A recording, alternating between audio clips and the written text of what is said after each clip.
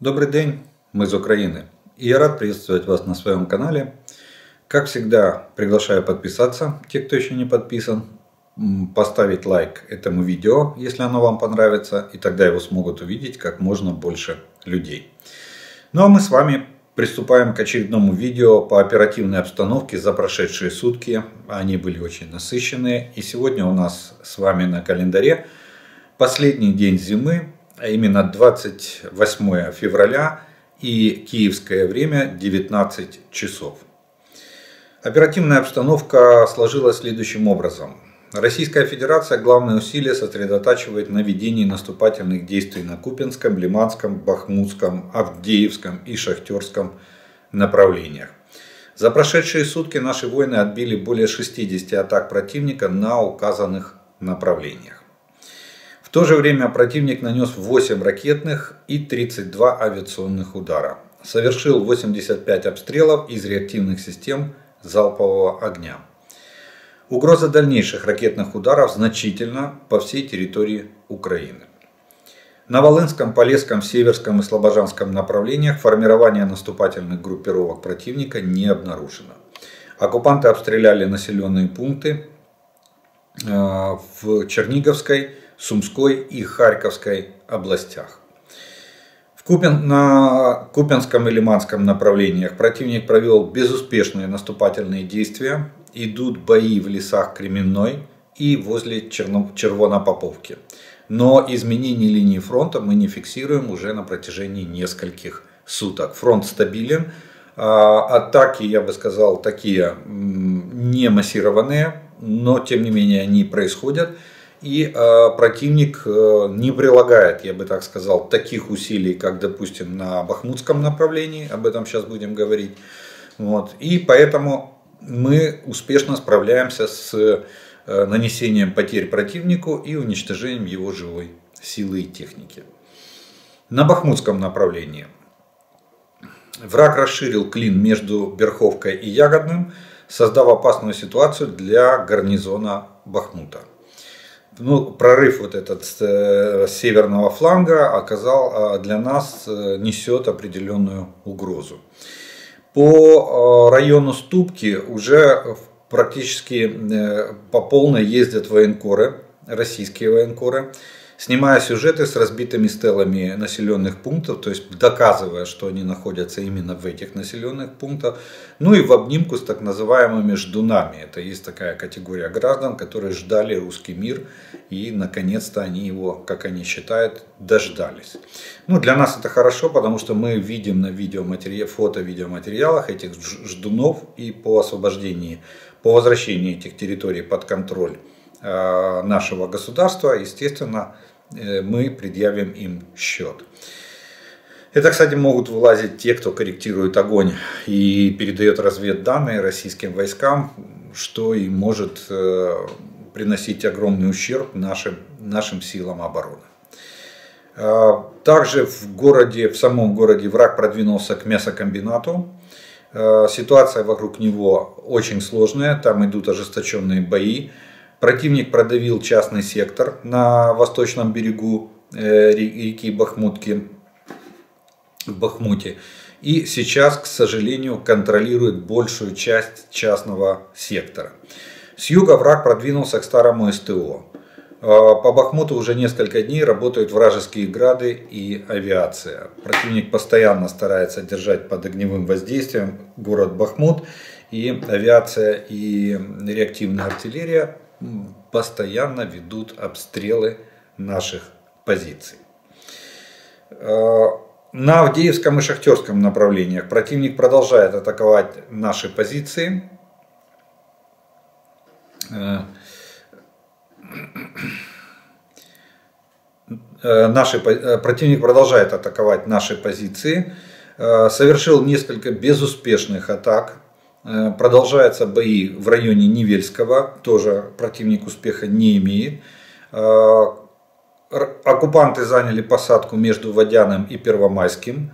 Это единственный успех, который на этом направлении они за прошедшие сутки достигли. Э, ну и ну и ситуация, а в остальном ситуация остается на стабильной и все попытки продвигаться противника наши войска отбивают и купируют. Запорожское направление. Здесь все без изменений. Э, позиционные бои, обмен артиллерийскими ударами и э, от огня артиллерии противника российских оккупационных войск пострадало более 20 населенных пунктов. На Херсонском направлении тоже все без изменений. Основной удар на себя принимают населенные пункты Херсонской области и сам город Херсон. Среди гражданского населения, к сожалению, есть раненые и погибшие. Противник ограничивает передвижение гражданского населения на временно захваченной территории Херсонской области. В частности, въезд в населенный пункт Промень разрешен только, гражданским, э, только гражданам с местной регистрацией и при наличии специального пропуска. То есть, ну, опять же, мы возвращаемся к ситуации, когда российские оккупационные войска хотят полностью контролировать перемещение гражданского населения. Это очень их тревожит, их ситуация очень тревожит в том плане, что они боятся, что наши граждане будут помогать вооруженным силам Украины в плане ведения или, или сбора разведсведений по расположению войск противника. За прошедшие сутки укра... Э, украинские воины э, ликвидировали 550 российских захватчиков, уничтожены 3 танка, 3 беспилотника оперативно-тактического уровня, 9 боевых бронированных машин, э, по 3 единицы артиллерийских систем и реактивных систем залпового огня и 4 автомобиля врага. Также подразделения сил обороны уничтожили 11 иранских ударных беспилотников типа Шахет-136 и один беспилотник типа Зала. Это вчерашняя ночь, вчерашнее утро, точнее, данные, которые вошли в сегодняшнюю сводку. Наша авиация нанесла 4 удара по районам сосредоточения оккупантов. Подразделения ракетных войск и артиллерии поразили один пункт управления, два района сосредоточения живой силы, и противника и две позиции противовоздушной обороны. Вот такие вот события военные произошли на всех оперативных направлениях, а также на линии фронта от Харькова до Херсона. Э, также есть информация по ситуации в Черном море. На данный момент носителей ракет «Калибр» нету. В акватории Черного моря Э, э,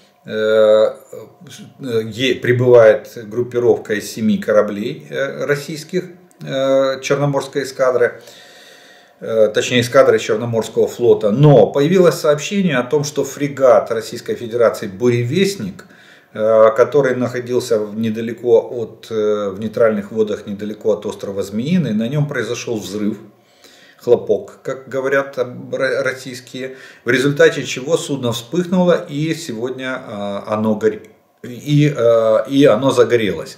Из Севастополя вышли несколько спасательных суден на помощь фрегату «Буревестник». Ждем официальное подтверждение, что там произошло и э, с чьей подачи произошел этот хлопок и пожар на фрегате «Буревестник».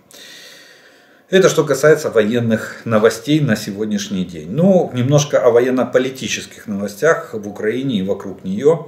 И самая главная новость сегодняшнего дня – это э, куча беспилотников, неизвестных летающих объектов.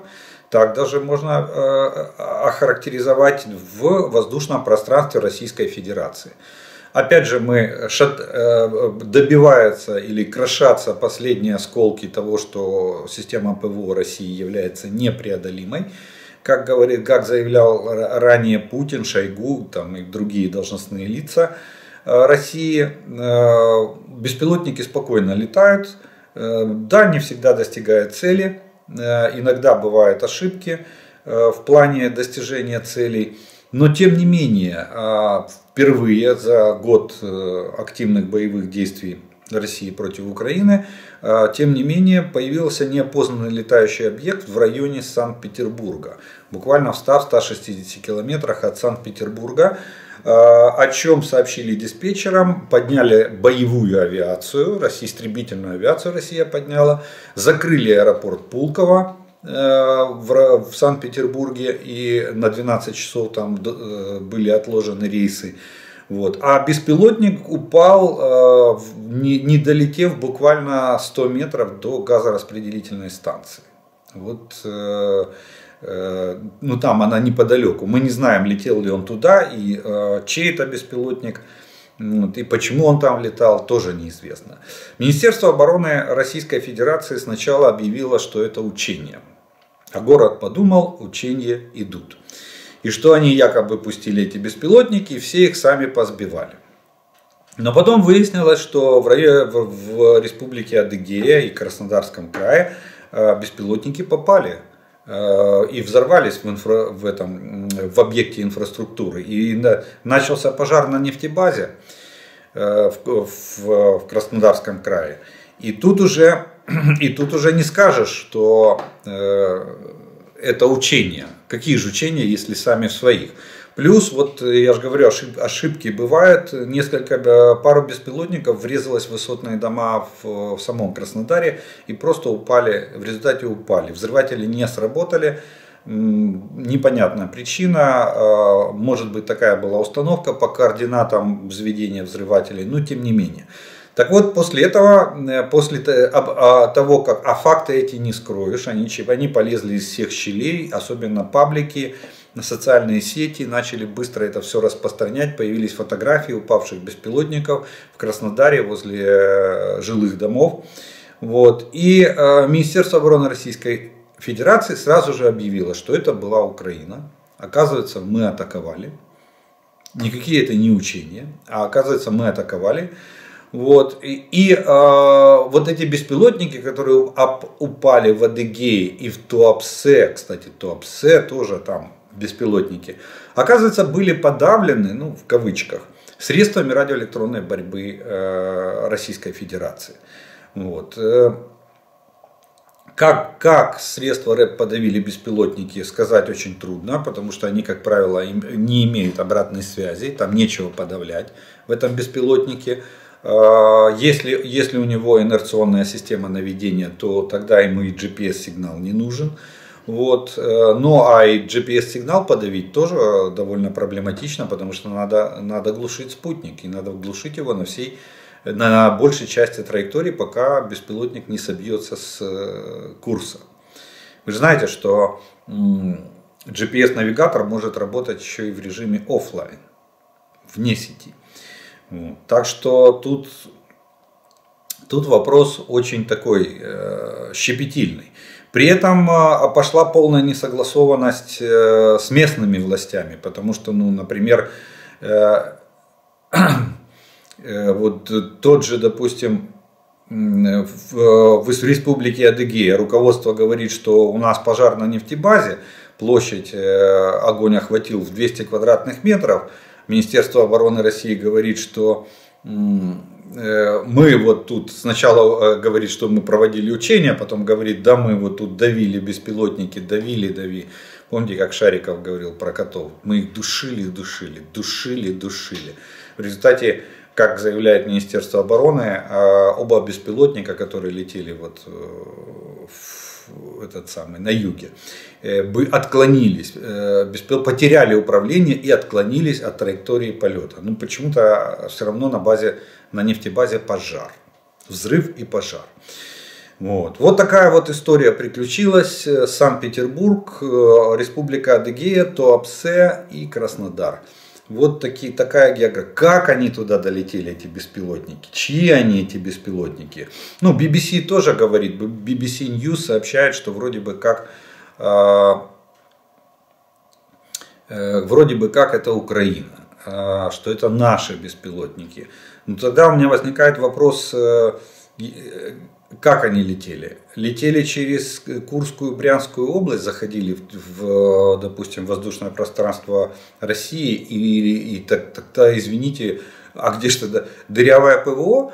Э, от, допустим, границы Брянской, э, украинско-российской границы в Брянской области до Санкт-Петербурга – Тогда, получается, беспилотник летел по территории воздушного пространства Российской Федерации. Причем на снимке, они там даже опубликовали фотографию, вот упавшего беспилотника, Кольская газораспределительная станция.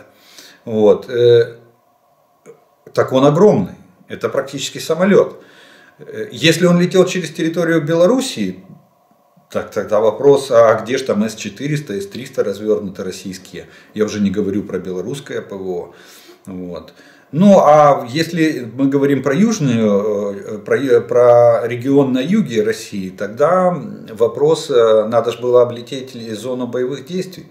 Или беспилотники прошли через линию фронта, через зону боевых действий. Тут очень много, очень много вопросов, на которые на сегодняшний день пока нет ответов. Есть, есть результат что один упал недалеко от газораспределительной станции под Санкт-Петербургом, где-то в 160-200 километрах от самого Санкт-Петербурга. Один э, попал в республике, э, в Туапсе, взорвался на территории НПЗ «Роснефть». А, это, и, и еще несколько, а, один врезался в жилой дом высотный, Э, в районе Краснодара. И э, еще один они вроде бы как упал в поле, которое они там как душили-душили, притушили. Вот, с трудом. Говорят, что, э, ну, и самое интересное, смотрите, вот даже та же BBC пишет, что ВСУ ранее вооруженные силы Украины использовали для ударов по аэродромам в глубине России старые советские реактивные разведывательные беспилотники Ту-141 «Стриж» вот, которые были переделаны в ударные дроны камикадзе. По сути, из э, возвращаемого аппарата, ну он же стриж прилетал и на парашютике спускался в районе места его пуска. Сделали крылатую ракету, которая летит э, билет в один конец, и она не возвращается, она поражает цель.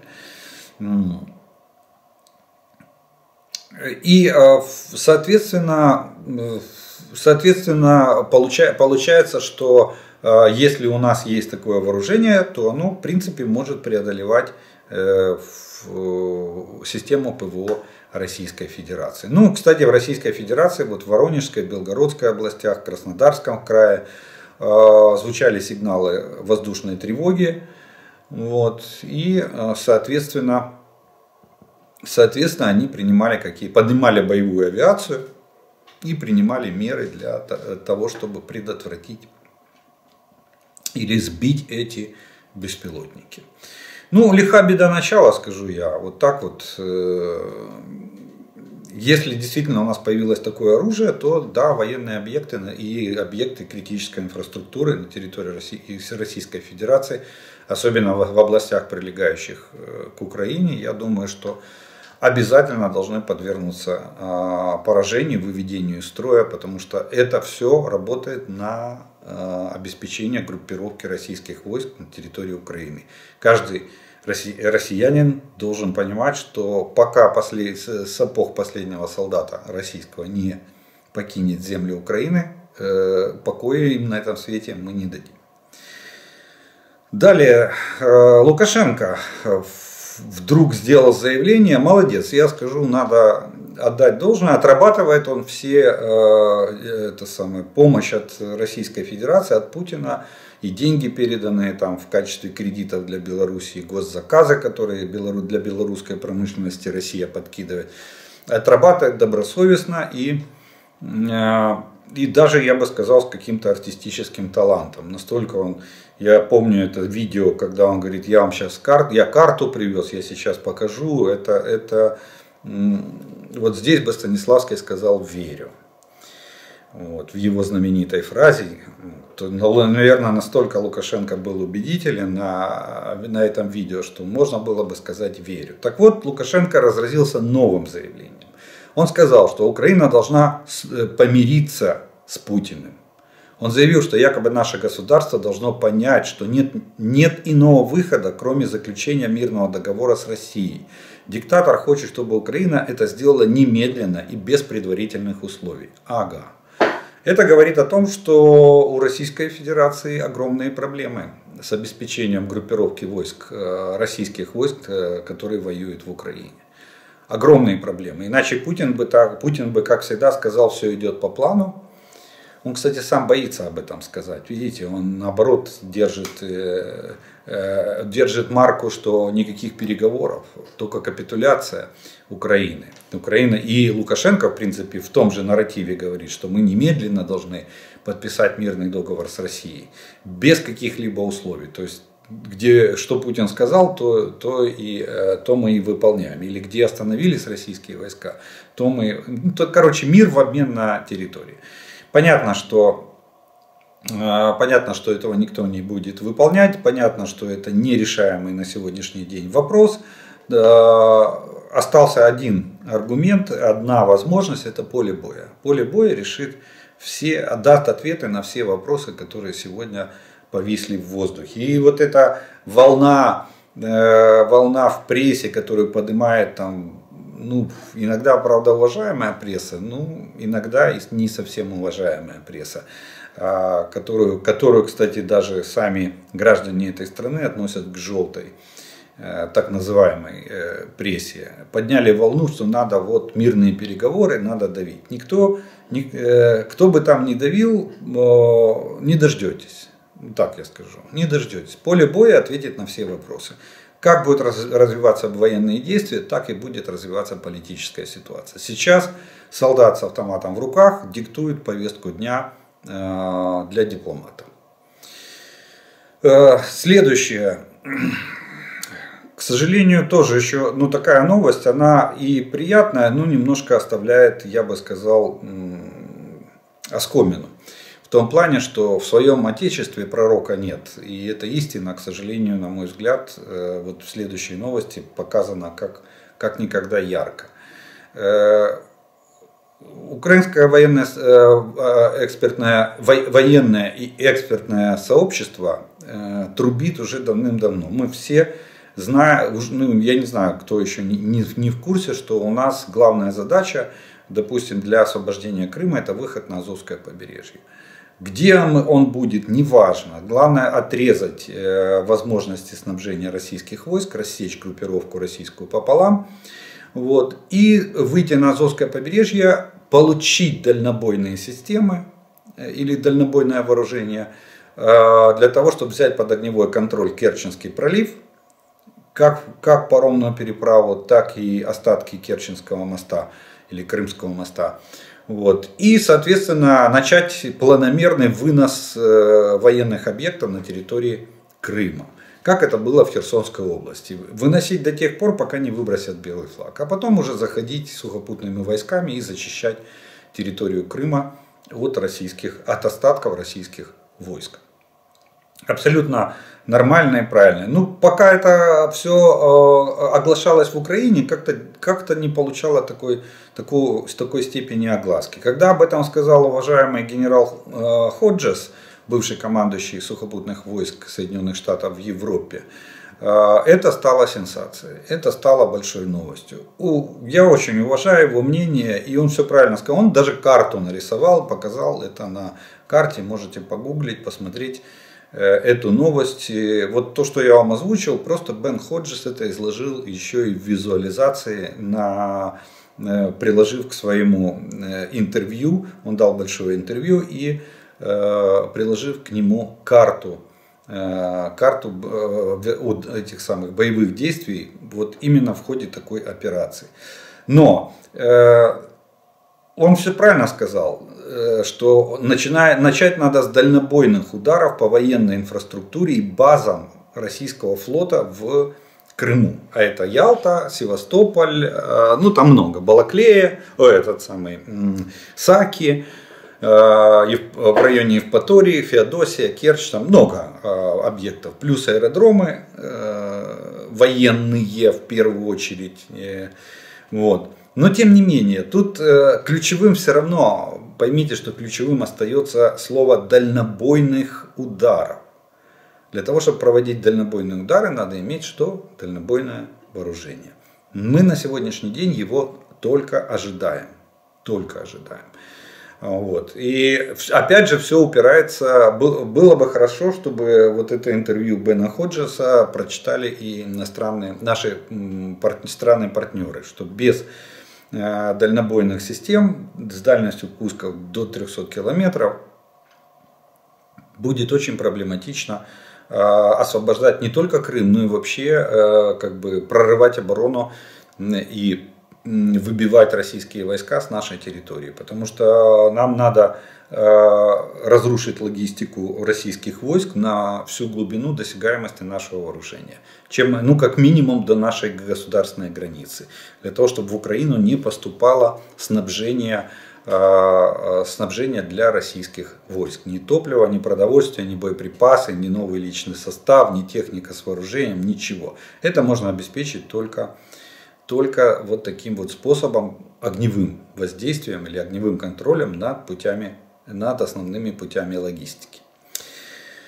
Следующее. Э, полетел в, Китай, в Китай Лукашенко полетел. Э, ну, две версии я оставляю, мы с вами об этом говорили э, в ранее в моих эфирах. Я рассказывал, что две версии. Одну я предложил, предположил, что Лукашенко ищет себе нового хозяина э, и ищет финансирование для Белоруссии, потому что она не в состоянии сегодня, страна не в состоянии обеспечивать сама себя. Только на внешних кредитах они могут существовать потому как нет рынков сбыта, нет источников за зарабатывания валюты. Вот, и поступление, денежные поступления внутри, а и плюс сырьевая база, вся в, в Белоруссии практически вся внешняя. Вот это и не дает, и, и они не могут без внешних кредитов держаться на плаву. А, я считаю, что Лукашенко поехал туда согласовывать свою позицию, искать поддержки у Си, Э, Цзипинь э, для, для, и определять свою дальнейшую политику. Тут уже Путин особо повлиять на это не может. Тем более, что выгода Китая в том, чтобы получить плацдарм в плане э, размещения своих производств, кстати, и, и, и транзита товаров через Белоруссию в Европу. А для этого надо что? Изменить политику и надо помириться с Европой. Надо, чтобы Польша открыла границу. Надо, чтобы Украина открыла границу. Соответственно, надо менять политический, а, политический курс Беларуси. Поэтому я думаю, что это будет основная а, тема переговоров. Да, возможен вариант, что Лукашенко а, будет просить боеприпасы. Ну, я говорил уже, версия, в эту версию слабо верю. Во-первых, ну, Китай до сих пор не принял, я буду, будем об этом говорить по поводу решения Китая поставлять ли, Украине, э, поставлять ли Российской Федерации боеприпасы или не поставлять. Это первый момент. Второй момент, э, как в Белоруссию вести боеприпасы? Вот вопрос, как? Самолетами это очень дорого, очень. А, вести, допустим, э, железной дорогой, а смысл? Тогда надо их просто сразу вести в Украину. Так это, а может быть это прямые поставки? Как я и говорил, что имея такую протяженность границы, можно гонять спокойно, э, спокойно гонять эшелоны с техникой, вооружением, с боеприпасами. Никто даже знать не будет. Маскируйте, маскируйте эшелоны и гоняйте ну, в принципе, э, да, стоги, иголку в стоге сена все равно можно найти, если постараться очень. Поэтому, я думаю, западные разведки четко отслеживают э, эту ситуацию. Так что, на мой взгляд, визит продлится до 2 марта, причем будет разговор тет-а-тет между Лукашенко и Си Цзепинем. Э, и будет расширенные э, встречи с представителями и политикума, и политического руководства Китая, и, и бизнес-элиты э, Китая. Так что такой визит довольно обширный на два дня. Так, я думаю, что там Лукашенко будет очень много вопросов решать. Но в первую очередь, зная Лукашенко, в первую очередь, поверьте, будет решать вопросы для себя. Кстати, по поводу производств, я напомню, что у Белоруссии э, есть совместное вооружение, э, та же система ПЛНС, реактивная система залпового огня, о которой мы, я тоже вы спрашивали, я вам рассказывал. Там а, китайский боеприпас, китайский снаряд, дальность пуска 200, до 200 километров, а база, ходовая часть, э, МАЗ ну, что-то вроде 546 или сейчас в современной версии идет 73 МАЗ, многоосное многоцелевое шасси высокой проходимости. Вот. А, плюс перед самой войной, где-то в 20-м, 21 по-моему, году или в 20-м, они открыли совместно, Китай построил э, завод по производству автомобильных двигателей в Белоруссии. И на минуточку там 20 тысяч двигателей в год. Значит, надо 20 тысяч грузовиков, на которые поставят эти двигатели. И видите, Китай, Китай построил.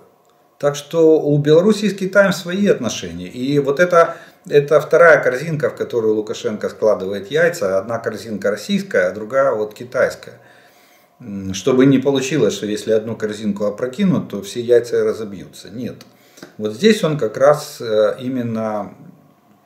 И вот, кстати, э, в анонсе визита Лукашенко в Китай сообщается о том, что по итогам переговоров будет подписан большой пакет документов по развитию отношений в ключевых сферах. Вот э, такие, такие вот планы, на мой взгляд, преследует. Э, то есть Лукашенко э, ищет, ищет пути выхода из этого кризиса. Вот. Ну и вот э, глава Пентагона э, дал большое интервью э, по по ситуации, и в котором, э, в котором, в принципе, э, ответил на такие ключевые вопросы. Э, ну, первое, то, что сказали, что о плане вторжения в Украину, вооруженного вторжения в Украину, знали 3-4 человека в окружении Путина, то есть точную дату и начало военной операции согласовывалось в очень узком кругу. Путин оценил лояльность своего окружения выше компетентности. То есть э, эти люди просто показали ему личную преданность и, соответственно, до сих пор занимают свои должности в окружении Путина. Но их уровень компетентности не дает им а, возможности давать правильные советы Путину или умные советы Путину и доносить до Путина всю правдивость, всю правдивую информацию. Вот так вот я бы сказал. А, далее, глава ЦРУ говорит, что только прогресс на поле боя определит улучшенные перспективы для переговоров в будущем. Это будет решать украинская сторона. Еще одно подтверждение того, что я вам сказал. Китай рассматривает возможность поставок летального оружия, но китайцы очень тщательно взвешивают этот вопрос. Решение не принято.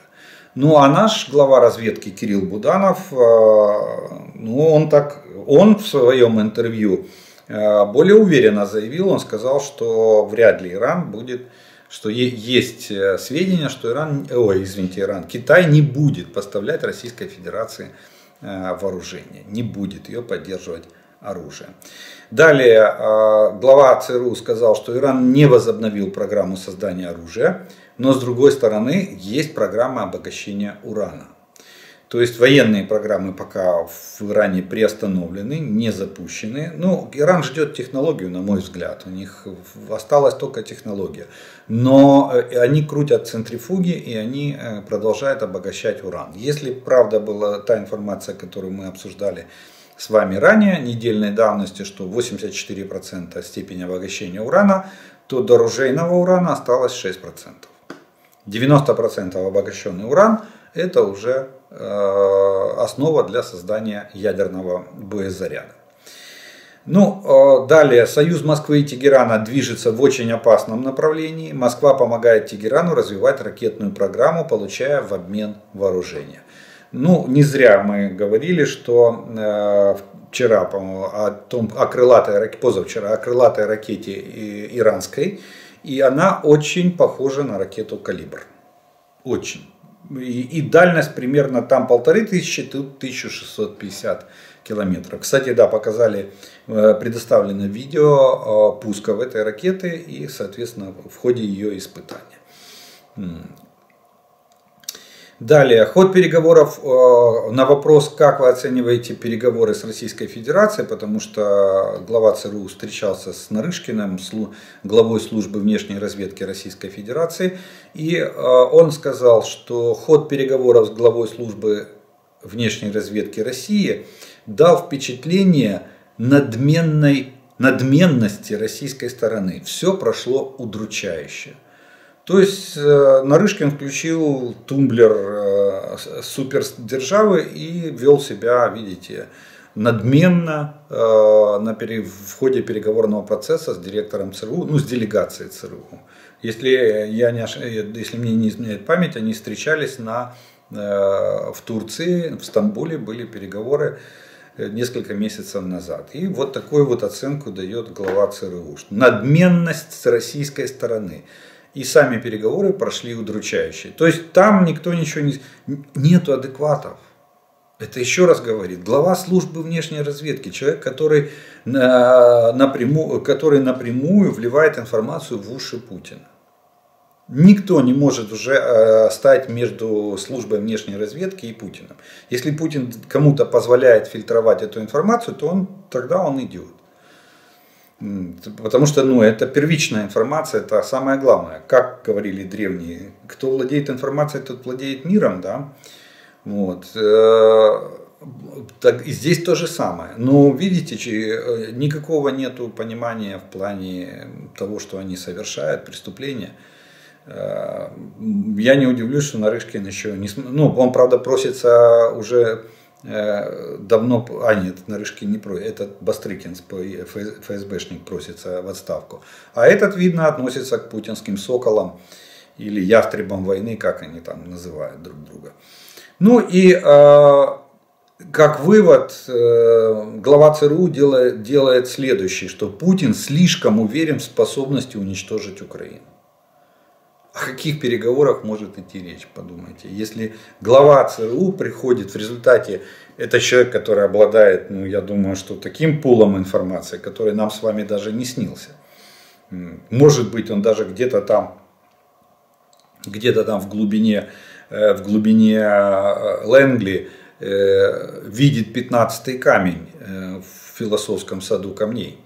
Вот, и знает полный расклад сил. Может быть, я не берусь это знать, э, это самое, не берусь об этом судить, но предположить это мы можем. И он говорит, что Путин слишком уверен в способности уничтожить Украину. Поэтому возвращаемся к его пункту какому второму его интервью, второму вопросу его интервью, только прогресс на поле боя определит перспективы для переговоров. Вот, такая, вот, такая вот, вот такой вот расклад на сегодняшний день э, в внешнеполитической ситуации между Россией, а, Соединенными Штатами и Украиной. Далее, а, гендиректор Rain, Rain Metal компании, ну это немецкий гигант э, и производитель э, вооружений, в основном, конечно, тяжелых вооружений, вот. Но, тем не менее, он заявил, что система ПВО а, а, Sky Ranger и система Skynex а, уже находятся в Украине. В чем особенность этих систем? Это системы ближнего радиуса действия, тактические, это 35-миллиметровые, они вооружены 35-миллиметровыми пушками, они работают в автоматическом режиме, и у них применяются так называемые программируемые снаряды AHEAD и 35-миллиметровые.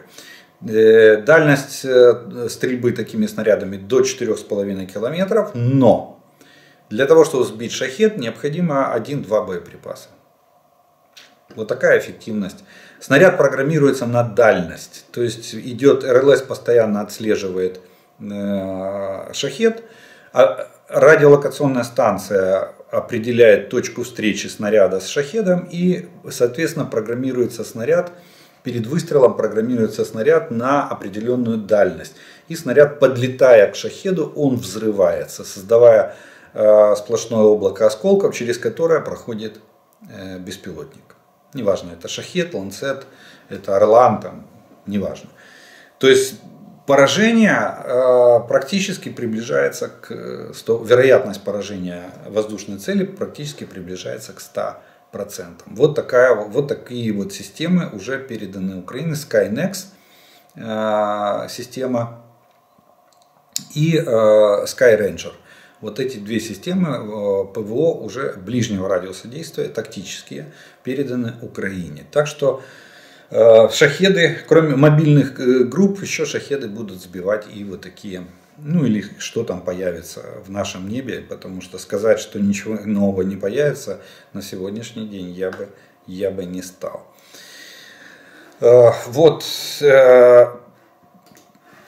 такие новости.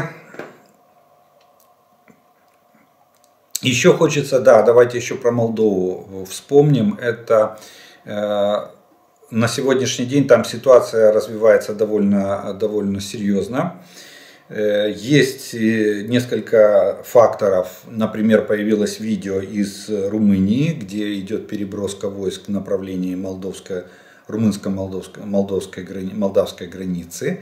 Э, там идет техника, ну трудно сказать, или войска перебрасывает Румыния на границу, или вполне возможно. Вот. Или, или это просто колонна перемещения, мало ли на учения могли выезжать, там еще куда-то. Везде сейчас войска, войска двигаются, и в Европе, и в, в Штатах эшелоны с техникой. Вот. Э, компания Визер объявила об, об такой интересной эм, антитеррористном шаге своем, они с 14 марта прекращают полеты в международный аэропорт Кишинева. Э, мы помним, да, у нас на, накануне войны первыми начали, прекратили полеты международные авиакомпании европейские и э, заокеанские, а, а потом э, начали выезжать посольства из Киева. И тогда уже было понятно, что война неизбежная. Вопрос только, когда она начнется, сегодня или завтра вот, был. Вот здесь Визер прекратил свои полеты, а сейчас власти пришло сообщение, а, власти Молдовы перекрыли центр Кишинева и на фоне опасений пророссийских акций. Это то, что я говорил, вариант раскачки ситуации через эм, через этот самый, через э, нестабильность, социальную нестабильность в самой стране для того, чтобы заставить парламент уйти в отставку, именно парламент, потому что он у них главный законодатель, а, у них э, президента тоже парламент избирает, и полномочия, самое главное парламента. Если в парламенте получить большинство, то все, можно разворачивать корабль Молдова можно разворачивать на, на, в, любу, в, люб, в сторону люб, э, на любой курс. Вот так бы я сказал.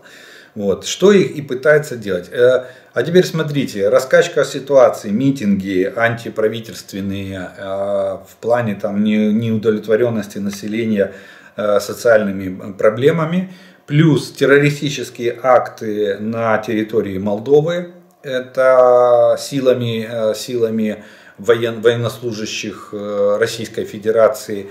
Э, формирование э, оружия там достаточно, а формирование незаконных вооруженных формирований. То есть повторение войны 92 года. То есть то же самое, использование маргинально настроенного населения, агентуры для создания НВФ, незаконных вооруженных формирований, и раскачка ситуации с требованием проведения э, досрочных выборов. Потом проведение досрочных выборов под дулом автомата и получение необходимых результатов.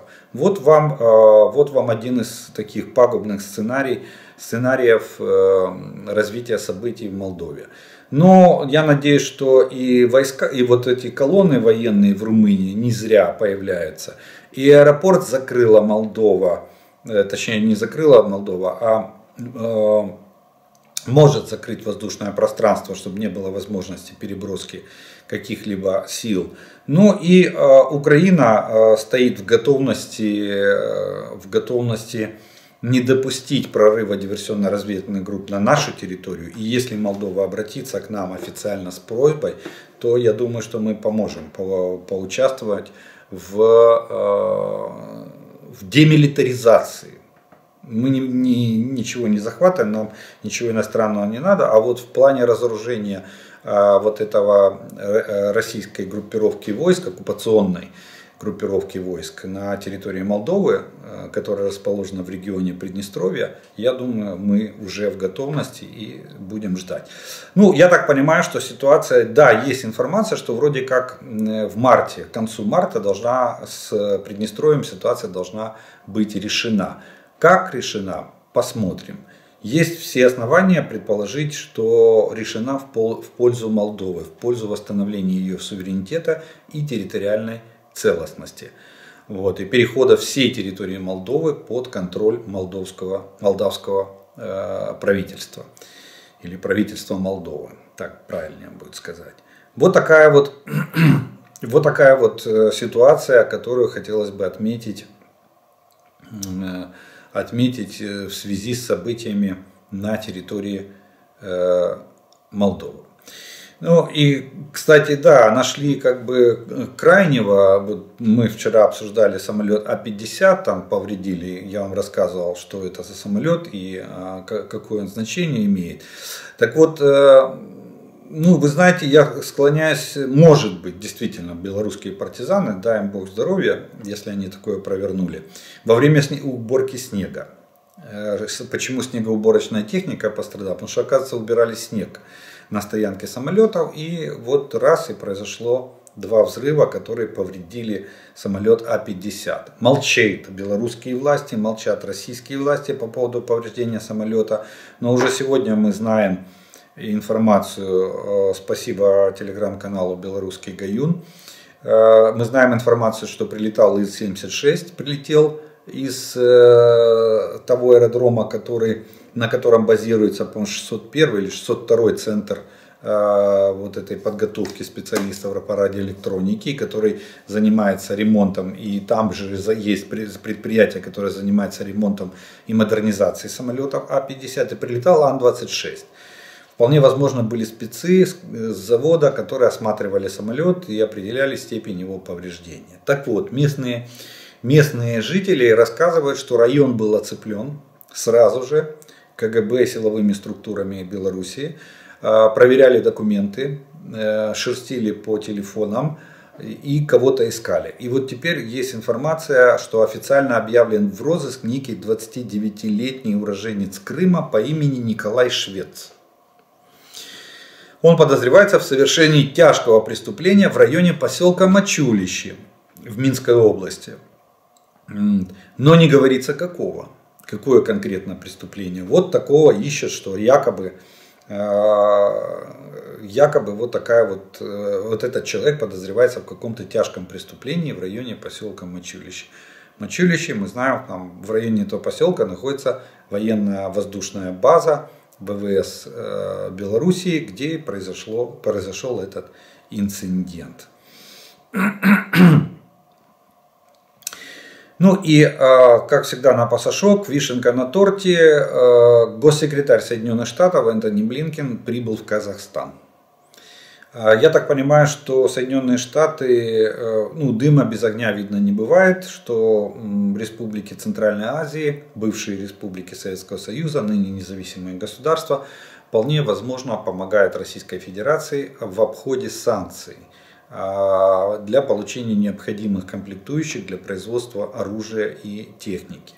Ну и считается, что цель визита он будет, э, Блинкин постарается заинтересовать Э, Такаева и других лидеров. Э, вполне возможно, что это будет турне по а, странам Азии, заинтересовать в том, чтобы они не лезли в э, санкционные игрища, а и какие-то предложат им экономические или торговые плюшки или преференции в, э, в их ситуации. Но э, предполагается, что Энтони Блинкен основная задача предостеречь страны Центральной Азии от участия в серых схемах Российской Федерации. То есть на России э, дают, поня... дают разъяснение, четкие разъяснения, что Российская Федерация сегодня в опале.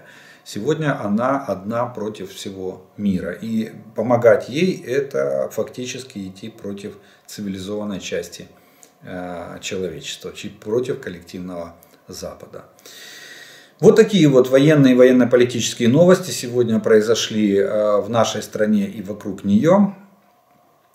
Э, я, как обычно, по традиции, после завершения первого блока нашего с вами видео, делаю паузу. У вас есть время подписаться на мой канал, поставить лайк этому видео, если оно вам нравится.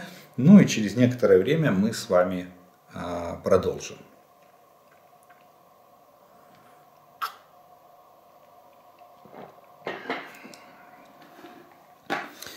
А продолжим мы с вами, как обычно, по традиции, ответом на те вопросы, которые вы прислали к предыдущим видео.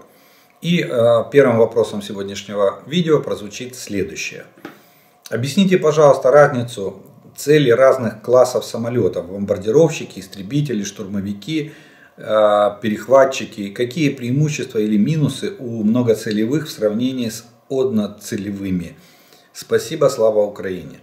Э, смотрите, ну разница, разница в самих названиях этих самолетов, она полностью отображена. И э, самолеты, ну начнем с самого простого, истребители, предназначены для ведения воздушных боев. Как правило, выполняют функцию истребли... и введения воздушного боя или перехвата воздушных целей. То есть он истребитель, истребитель-перехватчик. Это примерно одно и то же. А, эти самолеты характеризуются высокой маневренностью, скоростью и э, легкостью в управлении. Чем высокоманевреннее истребитель, тем больше шансов у него победить в воздушном бою. Ну, плюс, конечно же, оснащение. Особенно, когда он играет роль перехватчика, то тогда радиолокационные средства, обнаружение целей, воздушных целей. Здесь он по земле не работает. Это отдельная категория авиации, это разведчики они работают. А, истребители, они обычно относятся к тактическому звену, дальность, боевой радиус применения довольно маленький, там максимально до 1000 километров, не более. Почему? Потому что топливо, большой расход топлива на высоких, будем так говорить, при исполнении а, фигур высшего пилотажа в ходе, в ходе э, боевых маневров в воздухе двигатель на форсаж, двигатель на, э, на обычный режим и так далее. Поэтому очень, очень маленький радиус боевого применения. Иногда а, это э, узкоцелевые самолеты, штурмовики. Штурмовики, а, основное предназначение самолета тоже тактич, относится к тактической авиации. Боевой радиус довольно маленький, э, как правило, ограничивается там ну, до 400 километров. Это, это, это предел практически редко когда встречается с большим, а, за счет того, что меньше, меньше топлива в баках, больше, больше вооружения на крыльях. Боевая загрузка может, может составлять до нескольких тонн, до десятка тонн. Применяет все. Бомбы, а, неуправляемые реактивные снаряды, управляемые реактивные снаряды, имеет пушечное вооружение, имеет ракетное вооружение. Его задача а, поддержка сухопутных войск либо поддержка наступающих, либо работа, э, точнее уничтожение противника в обороне, либо уничтожение противника вот на марше там, или еще где-то. То есть штурмовые действия. С воздуха штурмовые действия по противнику. Кстати, да, забыл сказать, у истребителей тоже пушечное вооружение, пулеметы, пушки и э, ракеты э, вооружения. Далее, что идет, э, Бомбардировщики. Вот это, наверное, самая широкая линейка авиации. Почему? Потому что бомбардировщики начинаются от, так, от э, фронтовой авиации. Фронтовая авиация это глубина до 200 километров. Они должны в глубину обороны противника заходить и э, уничтожать цели путем бомбардировки, то есть сбрасывания э, бомб. Сейчас бомбардировщики еще могут сбрасывать ракеты крылатые ракеты, ну или как мы в примере российского МиГ-31 кинжала, да, а, баллистические ракеты. Ну, правда, там истребитель, но может, э, могут и бомбардировщики сбрасывать такие ракеты. Идет эм, либо фронтовая авиация, либо стратегическая авиация. Вот два таких основных э, э, разделения. Фронтовая авиация, та, которая работает непосредственно в интересах фронта, то есть она имеет небольшую глубину, там я уже сказал 200-300 километров. А, и ее задача отбомбиться и по объектам противника. Опять же, это э, практически прямая поддержка э, войск, сухопутных войск э, по, по заявке. Стратегическая авиация может быть уходить на большие расстояния. Ну вот, допустим, Ту-22М3, там 3 с лишним тысячи радиус боевого действия, что ему надо вернуться еще. А если брать Ту-95 и, или Б-52, да, это стратегический бомбардировщик, у него 7 тысяч радиус действия, у 95-го меньше там. Но э, вот это бомбардировочная авиация. Э, там бомбовая загрузка исчисляется десятками тонн. Они могут нести крылатые ракеты, могут нести э, э, баллистические ракеты, могут нести бомбы. Бомбы. Причем бомбы, любое, все эти виды вооружений могут быть в любом исполнении, как в осколочно-фугасном, так и в ядерном. То есть они способны нести и ядерный боезаряд.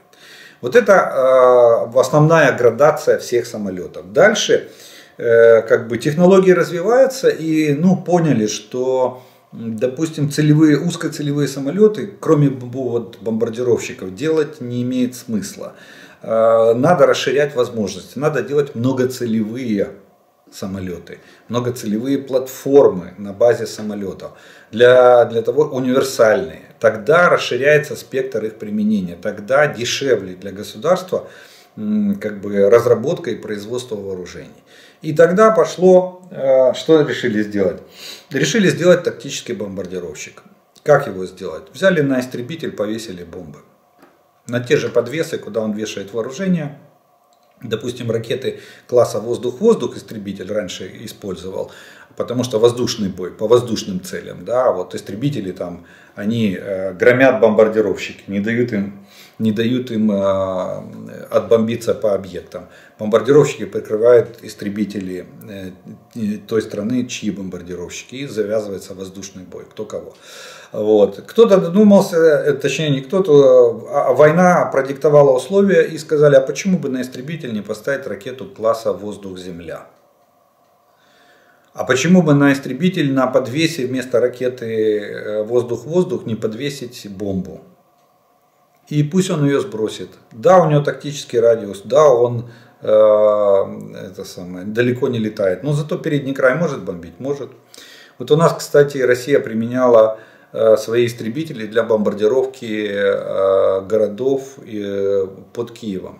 Под Киевом очень много было применения. Тогда еще авиация российская летала, и в Киеве они сбрасывали, где прорывались бомбы, и в Ирпене сбрасывали, в Орзеле, в Гастомеле, там везде э, истребители прилетали и сбрасывали бомбы. 200, фунт, 200 килограммовки, 150 килограммовки. Вот они, они сбрасывали. Кстати, даже было очень много не разорвавшихся, потому что э, сбрасывали на малых высотах, и взрыватель не успевал взводиться, и бомбы не, не взрывались. Даже, так, даже такое было. Было, вспомните, много фотографий. Вот. Это уже многоцелевой самолет. Истребитель и, в, этот самый, и бомбардировщик. Они так и называются, эти самолеты, истребители, бомбардировщики. Потом сказали, решили, что нужен какой-то очень маленький, юркий такой, ну, знаете, как этот, который бы жалил, как комар назойливый, не давал бы заснуть, э, когда он не дает заснуть, не дает покоя. Э, вот тогда был придуман F-16. На базе F-15, F-15 полноценный истребитель, э, хороший, полноразмерный, я сказал бы даже может быть тяжелый, но чистый истребитель. А вот F-16, он маленький, юркий, назойливый такой. Но заодно он, у него весь спектр. Он может выполнять штурмовые действия за счет вооружения, он может вести воздушный бой, э, может выступать как перехватчик, а может выступать как бомбардировщик. У него там, по-моему, 4 подвеса, э, до 4 бомб или 2 подвеса, ну по 2 бомбы может брать. Вот. Плюс ракеты класса воздух-земля. Вот, вот вам еще один унифицированный э, самолет, многоцелевой. Вот. Ну, а больше, э, в основном, э, это коснулось модернизации тактической авиации, то есть истребителей. Они в основном многоцелевые самолеты. Почему? Потому что э, они действуют непосредственно в интересах войск, сухопутных войск. И когда срочно надо, допустим, срочно надо отбомби, отбомбиться да, или провести там штурмовые действия по переднему краю противника, пока будет согласование со штурмовой или бомбардировочной авиации, пока они получат целеуказания, задания, прилетят, отбомбятся. Нет, а тут одна, один самолет, одна, одна часть или одно подразделение, приданное сухопутным войскам или поддерживающее сухопутные войска на этом участке, выполняет сразу несколько задач.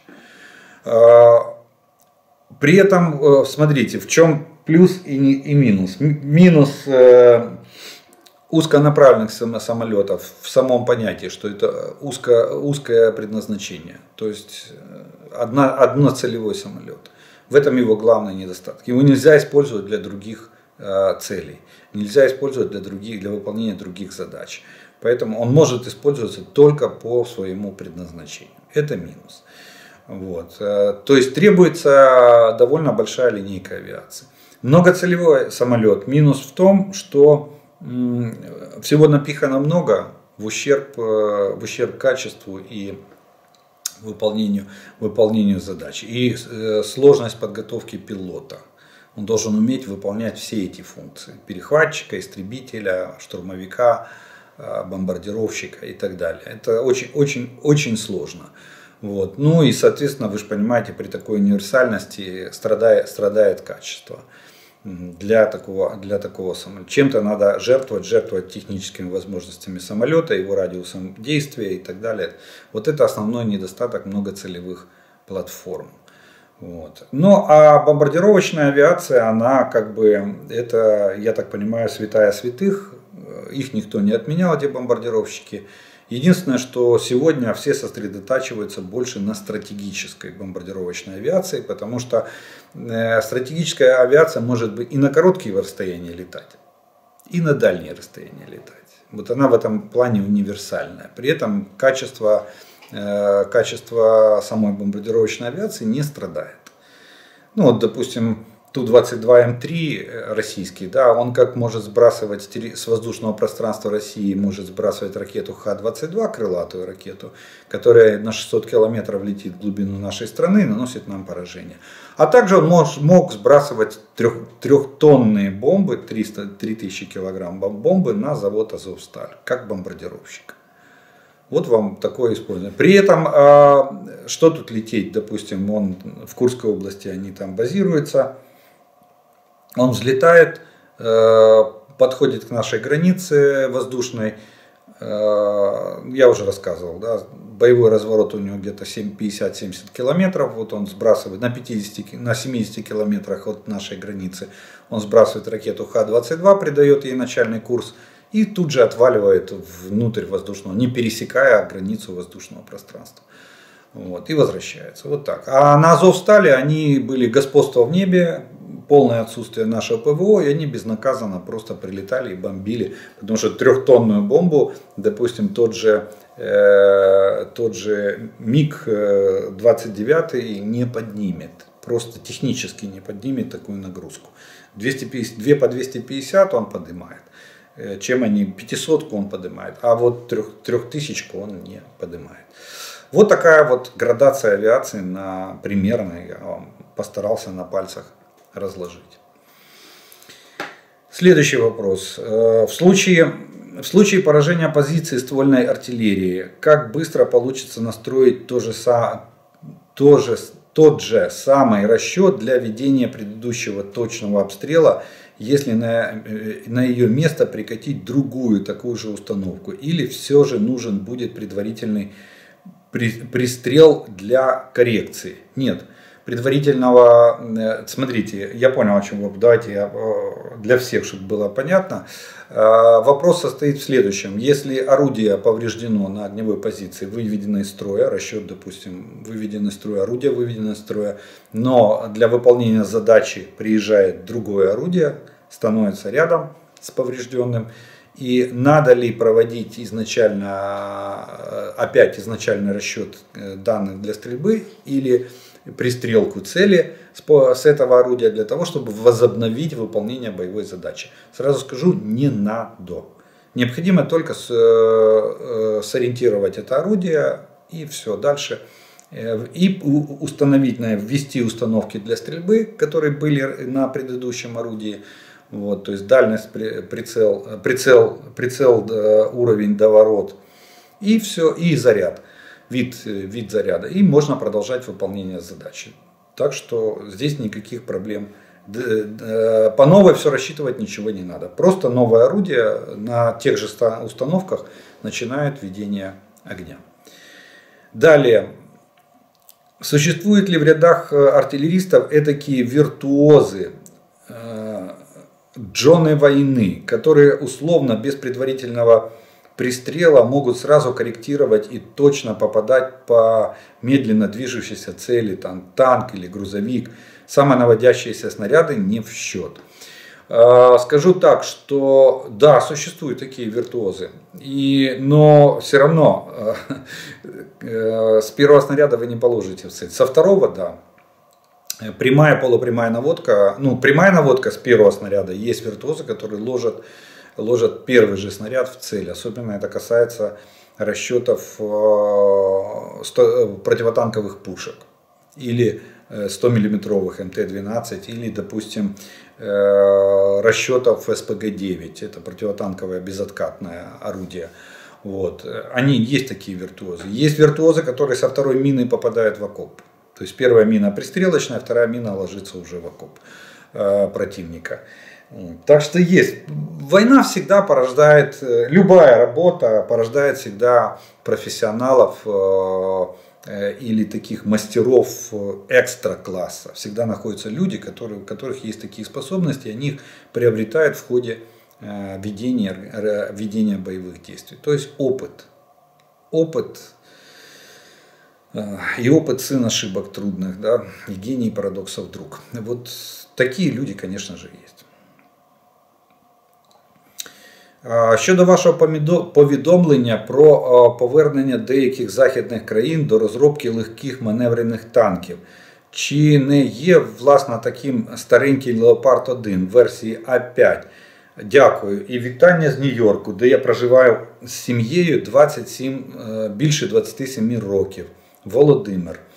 Ну, скажу так, что легкий танк Леопард 1 может быть как, э, как версия того, что э, сегодня идет развитие легких танков. Единственное, что, опять же, э, большинство легких танков, которые мы рассматриваем, это, ну, они, больше, они на колесной базе, и они больше, на мой взгляд, подошли бы в категорию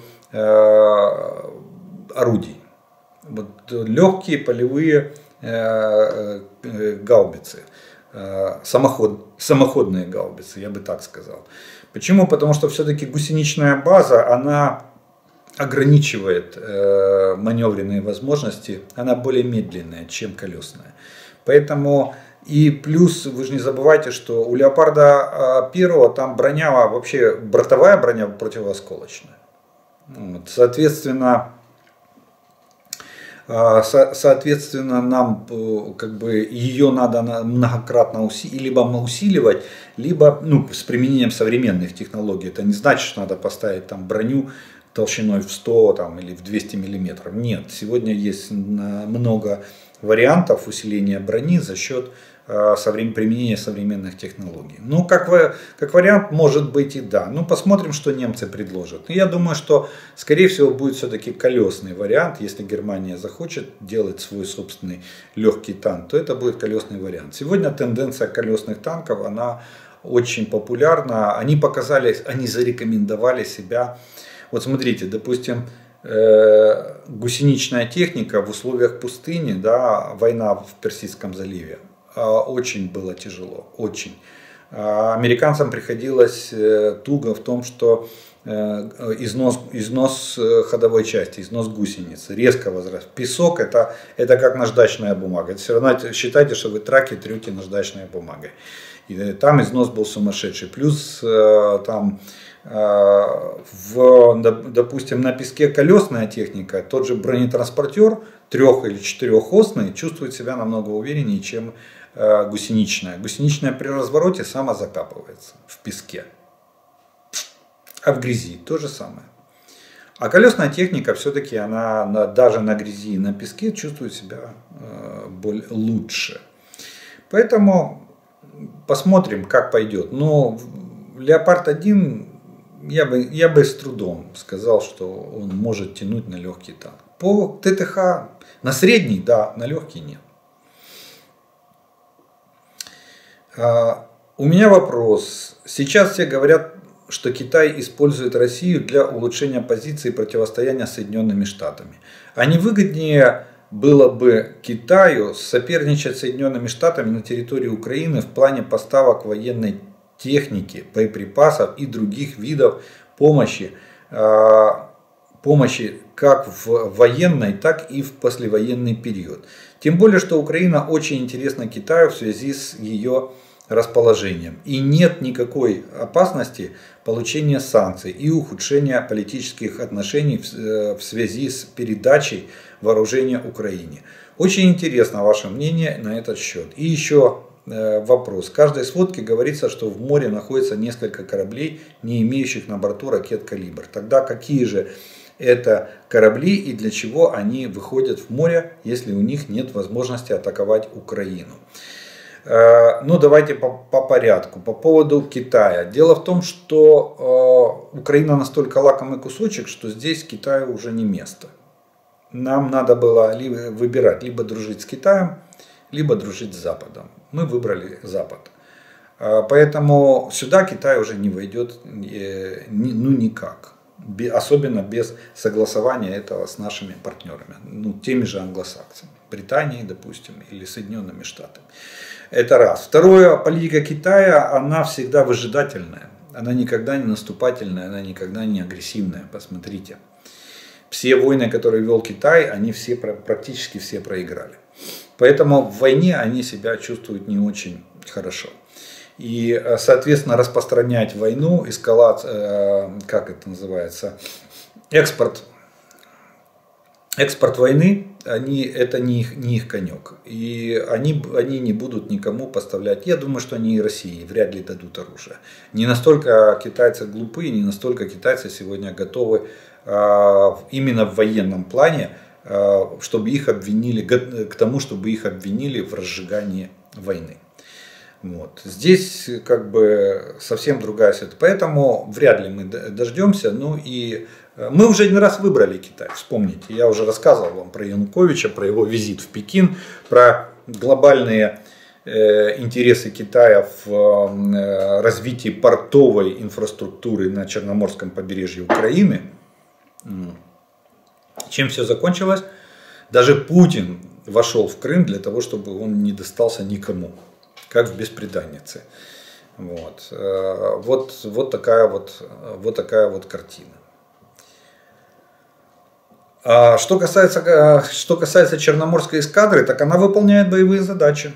Это боевые корабли, которые предназначены для ведения боевых действий на море. Они эту функцию выполняют.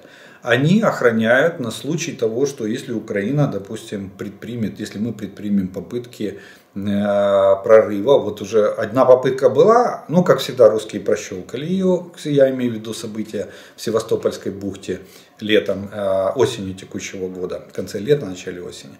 Вот, э, они прощелкали, теперь они это дело, я так понимаю, бдят денно и ношно.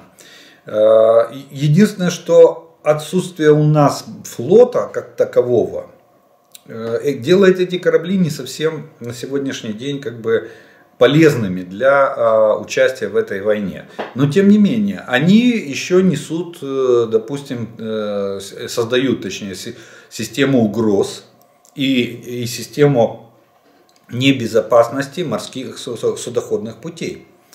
А той же зерновой сделки, тех же других, там же куча, куча сухогрузов или как, как бы гражданских судов, движется и в порты Румынии, и в порты Молдовы через дельту Дуная. И Россия показывает, демонстрирует, что они вот стоят на страже. Никто не знает, подходят подводные лодки Российской Федерации к торговым путям или не подходят.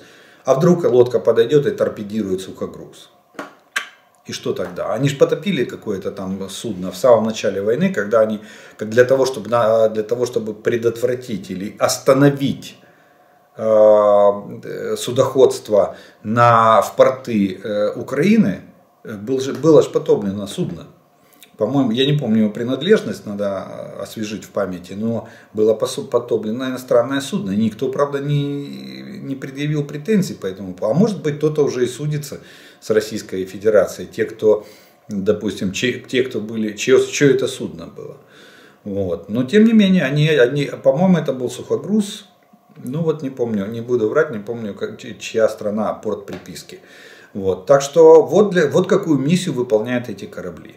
Они должны были выполнять миссию, когда были первые попытки высадки десанта в районе Одессы, э, эсминцы и фрегаты выполняли роль морской артиллерии. Они обстреливали берег своими артиллерийскими установками для поддержки высадки десанта.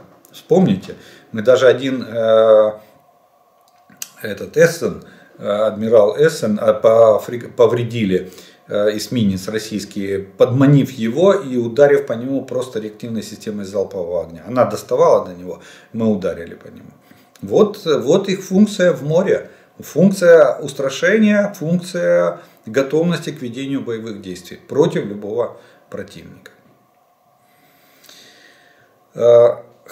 Хотелось бы знать, задать вам вопрос, э, как артиллеристу, кому, э, кому в артиллерии, причем как в ствольной, так и в реактивной придаются связисты э, к батарее, к дивизиону, либо же к полку.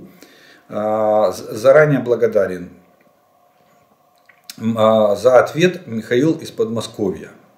Интересный вопрос. Смотрите, дело в том, что в артиллерии есть свои штатные связисты. Но а, в, любом, в, любой, в любой части, в любом подразделении, не только в артиллерии и в общевойсковых подразделениях, система связи, штатной связи построена таким образом, чтобы управление осуществлялось в рамках этой воинской части. В рамках полка, бригады, в рамках дивизии.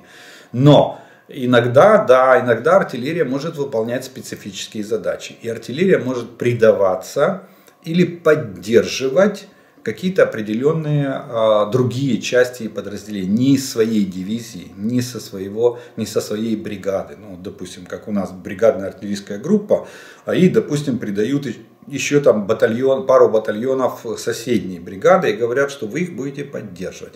А, это значит, что они не переходят э, на подчинение э, общевойскового командира этих батальонов, а, но по его запросу они по возможности открывают огонь по тем целям, которые он указывает. В этом случае придаются, или, допустим, старший начальник усиливает артиллерийскую бригаду или артиллерийский полк, а, это, который, который относится к старшему начальнику, он является там, допустим, артиллерией дивизии или артиллерией корпуса или артиллерией армии, это, это, это средство старшего начальника. Так вот, если из, э, из самого низшего звена артиллерии она придается старшему начальнику, то старший начальник что? Присылает свое подразделение связи для того, чтобы обеспечить управление и взаимодействие с этим артиллерийским подразделением. Так что связь, дополнительные средства связи к артиллерии при, придаются в двух случаях. Первое, для расширения возможностей по применению э, артиллерии для, в интересах соседей как правило, поэтому соседи должны что сделать? Организовать взаимодействие. Как это сделать? Через дополнительные средства связи, придавая своих связистов этим артиллерийским подразделениям, которые их будут поддерживать. Либо присылая сверху какого-то средства связи для обеспечения организации взаимо... или управления от старшего начальника, от старшего командира. Так это называется.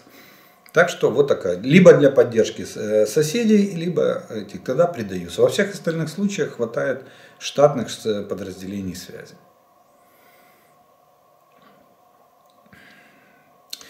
Ми офіційно не можемо збивати кінжали, але е, вмикаємо, як е, як ви зазначили кожен раз протиповітряну оборону, коли літають міги. В цей час ППО палять ДРЛО ну, А-50. Навіщо тоді, вмикати ПВО, якщо воно все одно не зіб'є кінжал? Так дело не в кинжале. А вы гарантируете, что, допустим, мы поднялись МИГи, поднялся самолет-разведчик, и Российская Федерация видит, что мы не включаем систему ПВО. И в этот момент делают залп из Искандерами или крылатыми ракетами. И что тогда? Мы начинаем включать ПВО, разворачиваться, а ракеты вот они уже прилетели. Поэтому это все делается в комплексе. Поэтому мы не можем игнорировать э, любую угрозу. Когда появляется угроза, мы на нее реагируем. Когда угрозы нет, тогда мы сидим тихо, спокойно э, и как говорится, курим бамбук. Поэтому тут уже это не от нас зависит, такова система, система реакции. В дальнейшем, я надеюсь, когда мы создадим глубоко эшелонированную систему противовоздушной обороны, она уже будет реагировать на конкретные вызовы, то есть на конкретную угрозу с конкретного направления. И система ПВО будет переходить в боевой режим автоматически по мере возникновения угроз или приближения, э, приближения э, воздушных целей к нашему воздушному пространству. Вот так вот. Но это, это потом будет, это в перспективе. А сегодня мы вынуждены с появлением воздушной угрозы, мы же не знаем, вдруг этот МиГ-31 это отвлекающий маневр. И пока мы все э, смотрим на этот МиГ-31 и думаем включать, не включать ПВО, сзади уже летит крылатая ракета Х-101 или Х-555. Вот, вот в чем проблема. Поэтому включали и будем, к сожалению, включать. Но за счет маневренности наших средств ПВО и ПРО э, называется попробуй, по, попробуй поймай. Объясните, пожалуйста, как работает буссоль. Сам израильский артиллерист. Что, делаю, что делают, делать знаю, зачем понимаю, как работает не понимаю. Почему нельзя при, э, при, э, привинтить э, какую-то систему сразу к самоходке и не бегать с э, треногами и калькуляторами. Спасибо заранее. Э, нельзя. Объясню почему. Потому что что такое бусоль? Бусоль, она определяет э, направление. Она ориентирует орудие в пространстве по азимутам. Ну, артиллерия использует не магнитные азимуты, не углы, э, а использует дирекционный угол, угол. Так легче. Вы, как артиллерист, должны понимать, что в артиллерии для простоты или упрощения э, задач сделали таким образом, что круг не 360 градусов, полный круг, да, а 6000 единиц. Разбили окружность на 6000 единиц. И, а, соответственно, э, назвали это дирекционными углами. И вы, на бусоле есть магнитная стрелка, вы ориентируете как компас по магнитной стрелке – Э, выбирается среднестатистическая из 5-6, 3-4 или 5-6 колебаний э, магнитной стрелки. Дальше вводится поправка на, э, вводится поправка на сближение меридианов. И, соответственно, мы переходим к дирекционным углам. И после, после этого вы есть, э, есть специальное кольцо отдельное на бусоле, которое разбито на 6000 единиц. И мы знаем, что по карте мы, мы, мы ориентируемся. Эти 6000 единиц разбиты по э, окружности. То есть 0 соответствует северу, 15-0 э, соответствует востоку, 30-0 это юг, 45-0 это запад вы, э, вам ставится задача, допустим, э, основное направление стрельбы 43.0. Вы выставляете на бусоле 43.0 и угломерное кольцо, там еще отдельно есть свободное, ставите на 0 и ориентируете орудие. Даете отметку по визиру орудия, орудие, орудие выставляет эту отметку на своем визире и наводится в этот тогда, тогда орудие будет смотреть в основное направление. Но вот э, что для того, чтобы заменить бусоль, что нужен?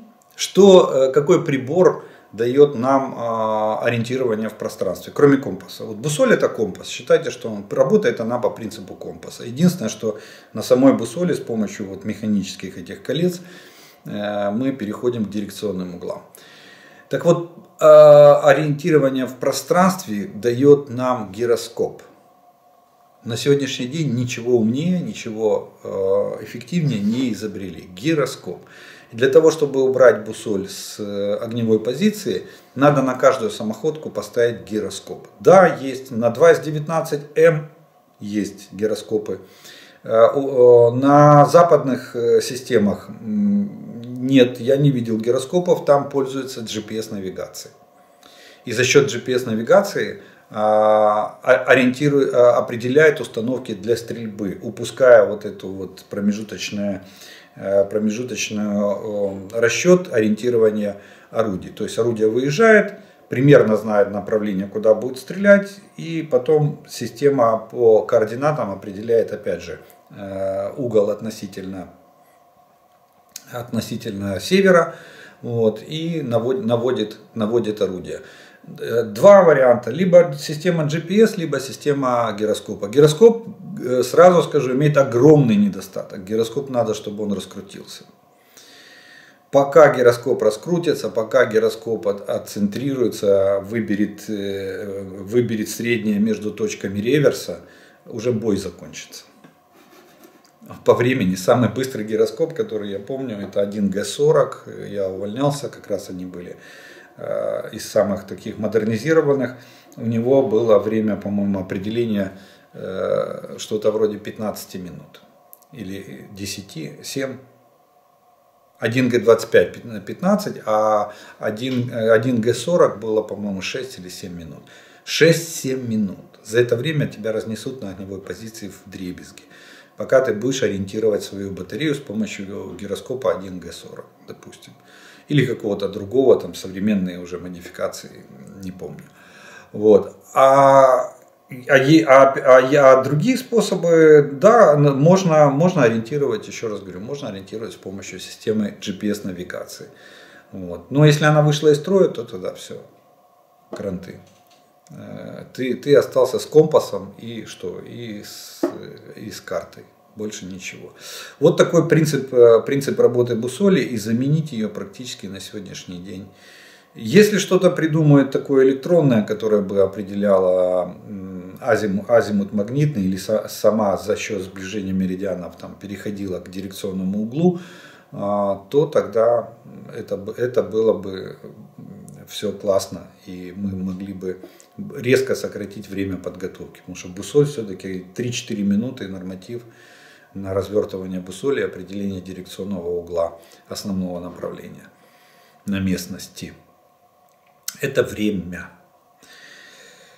Ну что ж, вот, наверное, э, на этом будем нашу вторую часть видео заканчивать, э, вопросную. И у нас остается с вами третья часть. Это э, приветствия, комментарии, приветствия, которые вы прислали.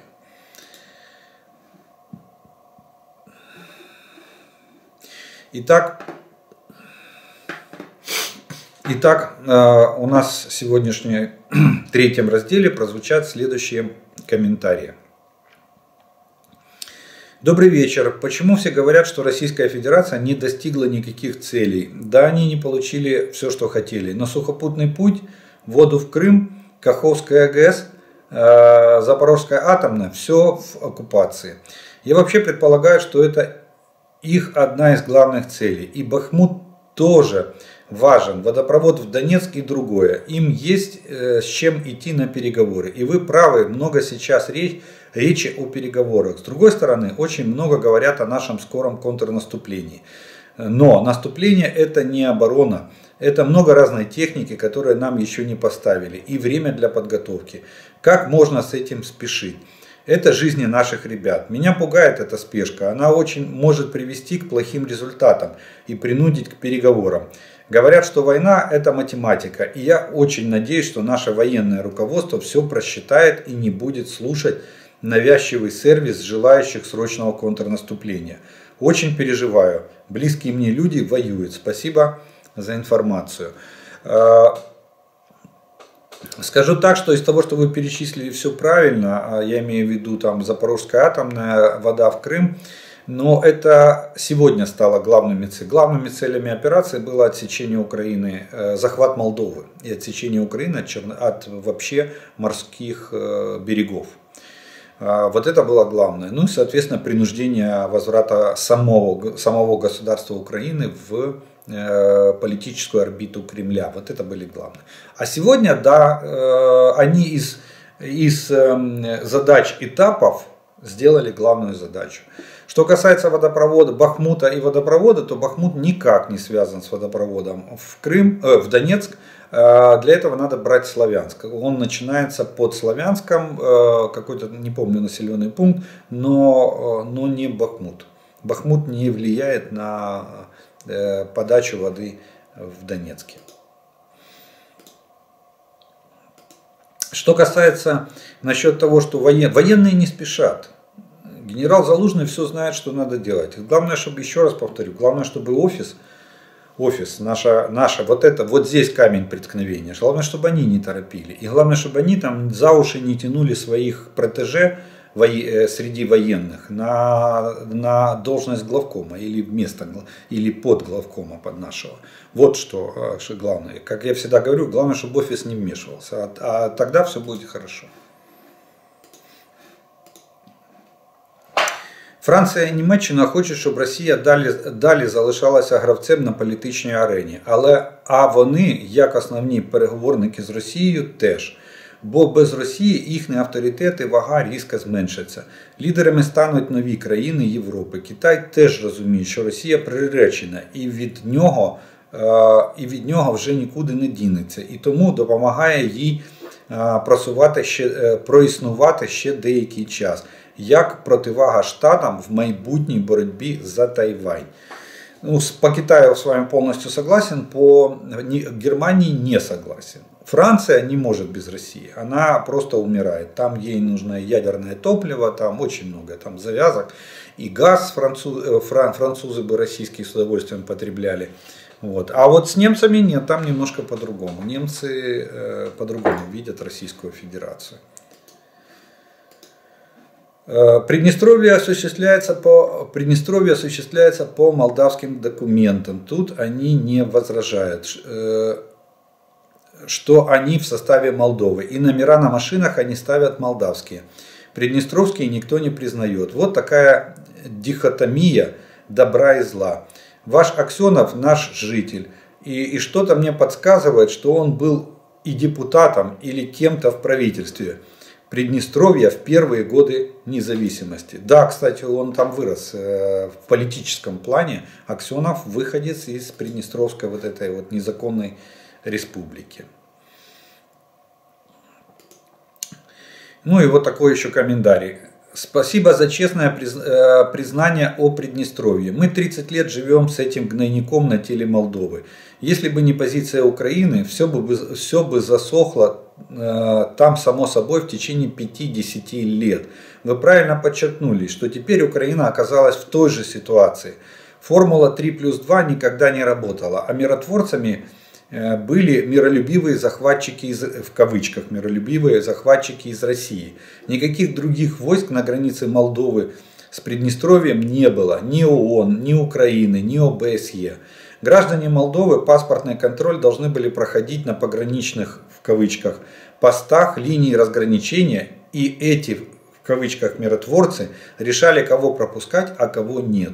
Доходило до абсурда, люди не могли попасть на кладбище к захоронениям, а жители сел Левобережья, которые не признали сепаратистскую власть и остались в подчинении Молдовы, не могли обрабатывать свои земли, потому что Приднестровье их обвиняло в, сво, э, в своей, э, их объявило своей территорией. И обычно ситуация обострялась к моменту сбора урожая – Самое интересное, что Молдова никак не, дискримини... Э, не дискриминировала жителей Приднестровья. У них были и есть паспорта Молдовы, Румынии, Болгарии, России и Украины.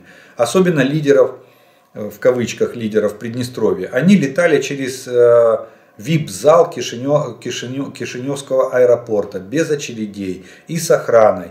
А после отставки обосновывались либо в Кишиневе, либо за границей. Не в России, кстати. Экспорт продукции предприятий Приднестровья осуществляется по молдавским документам. Тут они не возражают, что они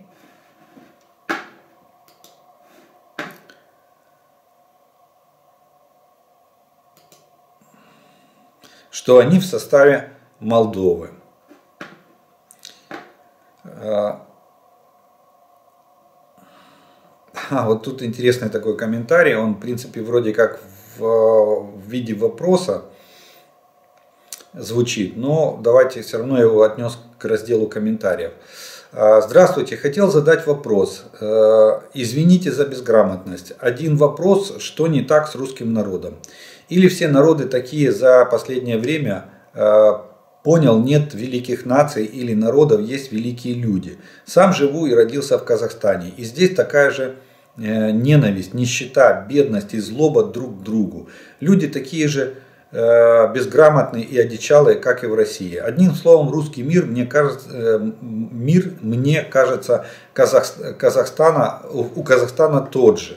Россия только меньше по территории. Э, а, такой же, как, как и в России, только меньше по территории. Ну, скажу вам так, что ведь, смотрите, культура нации зависит от уровня жизни. Чем выше уровень жизни, тем выше культура нации. Тем как бы отношения в, в социуме, они более гуманные, более э, открытые, более доверительные. Чем ниже уровень, чем беднее страна, тем э, хуже, хуже социальная атмосфера в этой стране. Посмотрите на бедные страны. Там же ну, война постоянно, нищета и война. Как только страна, посмотрите на Европу, уровень жизни, да, Соответственно, красота, залюбуешься. Вот. Это главный критерий, уровень жизни. Если, если правители не, за, не заботятся о повышении уровня жизни э, нации или, или страны, то эта страна приходит в упадок. Она в конечном итоге съедает себя, сама себя изнутри. И потом происходит, как знаете, как Э, с черной дырой, она сжимает сама себя, сама себя поглощает, а потом взрывается, потому что эту энергию надо куда-то девать. То же самое происходит со странами и народами. Они себя сначала сжимают, вот этим э, правители высасывают всю кровь из общества, грабят эту страну, как только могут, она нищает, сжимается, и потом эта пружина в какой-то момент вырывается из-под контроля и происходит социальный взрыв, который заканчивается, как правило, революциями, гражданскими войнами, кровопролитием, ну, в любом случае кровопролитием. Э, Все, и второй вопрос. Все постсоветские страны такие, э, такие, все постсоветские страны такие? Нет, не все такие. У Грузии был шанс, они начали подниматься, поднимать уровень жизни, но потом э, Россия вмешалась и быстро их обломала. А, у нас, э, в принципе, все шло хорошо, пока а, мы пытались выбраться из этого болота, а, пока не вмешалась Российская Федерация с притяжением нас к себе. С вот этой легендой о, едином народе, брат, братском народе там и прочем. Хотя у нас ничего общего нет. Абсолютно. Вот. Э, поэтому посмотрите на страны Балтии. Вот страны Балтии может быть примером как они поднялись, как они развиваются и какой у них там уровень. Так что не все бывшие советские республики такие.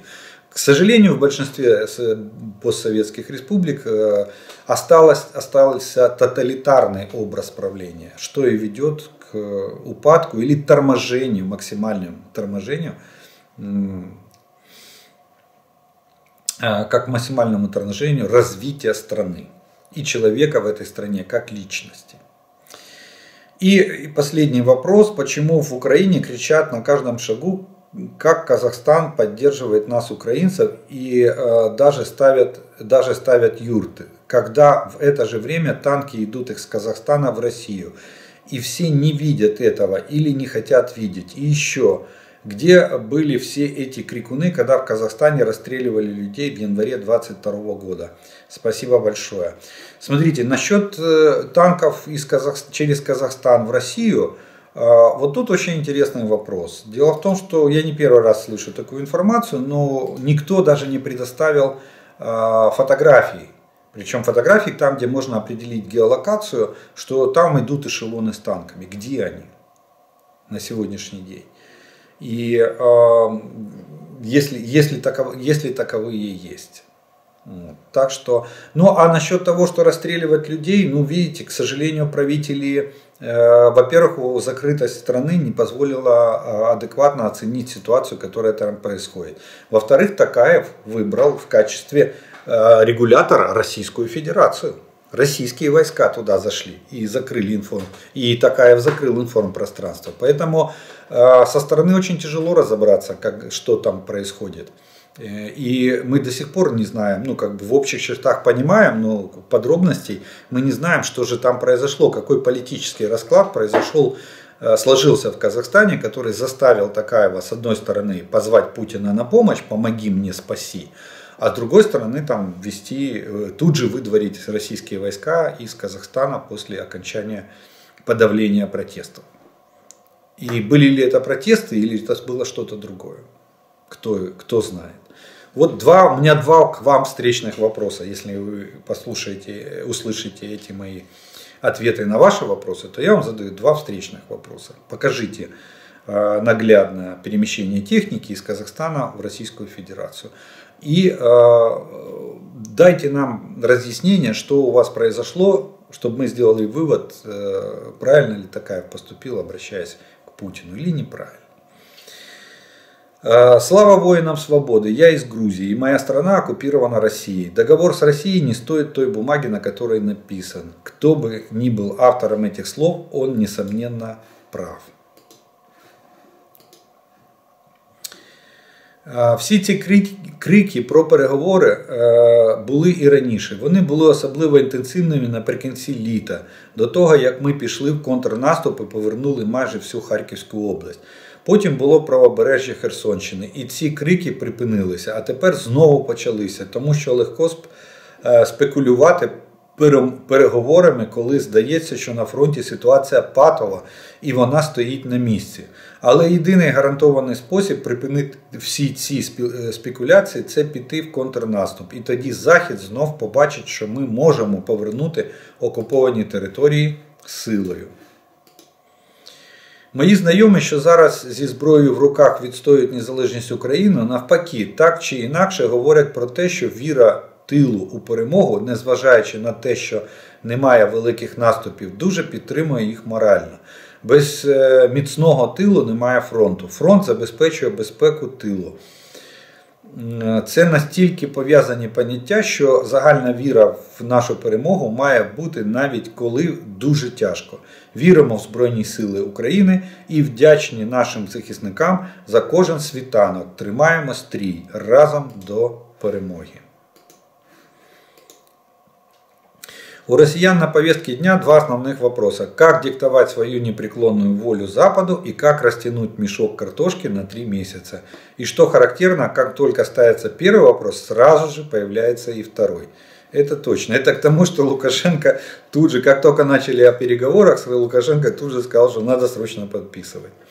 Мне кажется, что самолеты Российской Федерации стягивают не для бомбардировок и глубины территории Украины, а для бомбардировки прорывающейся, прорывающей оборону техники. Ведь системы ПВО не могут быть введены а, в прорыв за наступающими. Вы вполне можете быть правы, что в основном штурмовую авиацию и бомбардировочную. Так вот для этого, кстати, э, для этого мы и просим у западных партнеров – дайте нам авиацию. Потому, и я, и многие другие эксперты говорят о том, что э, без прикрытия с воздуха э, контрнаступление будет очень тяжелым. Очень.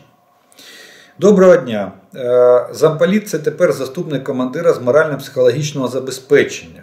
Дуже рідко зустрінеш на цій посаді дійсно професійну людину. Переважно це кукли командира. Ну, от така Такая ремарка к вчерашнему рассказу. Гиркин жаловался на Краснополь, мол, абсолютно неэффективен, летит куда угодно, только не в цель. Э, Эскалибр, э, Эскалибур лучше в своем роде. Один выстрел, одна цель. Кстати, а я вам скажу, почему на Краснополь жалуется. Потому что снаряд Краснополь это высокоточный боеприпас калибра 152 мм, для совет... еще разработанный в Советском Союзе. Россия его немножко модернизировала. Так вот, Краснополь это корректируемый боеприпас, который э, корректируется за, э, только за счет лазерной подсветки. Он идет по отраженному лучу лазера. Если не подсвечивается, никакой, никакого попадания не будет. А если мы говорим о, а смотрите, а вот э, в артиллерии, допустим, все приборы подсветки рассчитаны на 5 километров.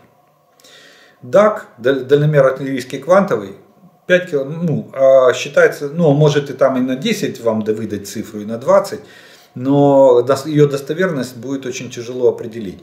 А гарантированно он измеряет дальность до 5 километров. Соответственно, э, у него режим подсветки цели тоже до 5 километров. То же самое ЛПР, лазерный прибор разведки, 5 километров дальности, подсветки цели. Вот вам ответ на вопрос, почему Гиркин плакался, что Красно, Краснополь э, э, фиговый снаряд, летит куда попало. С 1 декабря 2017 года права замполитов были расширены, а должность заместителя командира части соединения объединения по работе с личным составом была переименована в заместителя командира по политико-воспитательной работе Михаил из Подмосковья. О, видите, нас даже спасибо за подсказку, будем знать, э, будем знать, э, до чего дошла реформа вооруженных сил России. Заместитель командира по э, воспитательной работе. Ну почему практически во всех сводках у, у, у многих блогеров, экспертов так мало говорят о городе Запорожье, о его повреждениях. Если идет информация о городе или области, то, как, то так скупо, что складывается впечатление, э, как для галочки. Но мы же люди, которые переживают, э, боятся, но верят в перемогу Украины.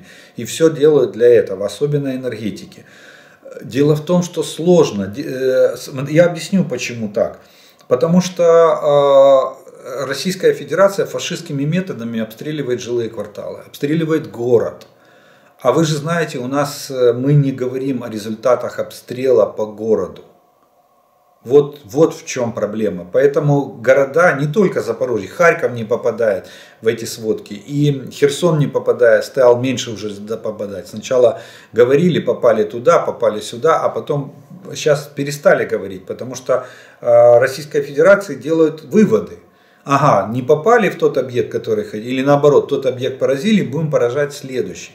Вот в чем проблема. Не, мы не имеем возможности, мы как бы, нас же попросили военные не корректировать огонь российской артиллерии или российских ракетных войск. Вот. Поэтому города упоминаются скупо в, то, в сводке. Обстрел города Херсона, обстрел города Запорожья, обстрел города Днепра. Все. Я понимаю, на какую горе и боль несет вам эти обстрелы. Э, просто в Киеве этого было меньше. Но поверьте, здесь тоже все летало, и кассетки прилетали, и ракеты прилетали, и все остальное. Вот. Мы это на себе тоже прочувствовали. Вот. Но, но, к сожалению, э, как же говорят, не снимайте, не выкладывайте фотографии и не рассказывайте, куда и что попало. Вот это главный критерий, поэтому города упоминаются довольно редко. Захисникам Бахмута молитви, пошана і величезна подяка. Прикро, що так довго і важко дістається захист фронту, правди і батьківщини. Бажаю усім, хто може приєднатися до допомоги і ще не робить це, допомагати. Е, донати, сітки, свічки, домашні смаколики, е, малюнки дітей, збір речей, їжі для переселенців. Кожен може хоч раз на тиждень щось робити задля наближення перемоги, підтримки людей і подолання і своїх переживань і єднань.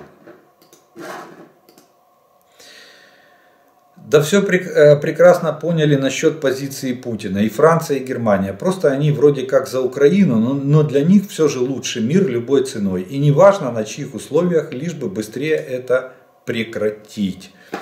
Да, вы абсолютно правы. К сожалению, у каждого своя рубашка ближе к телу. Они видят Россию как сырьевой придаток с, дешевыми, с дешевым сырьем.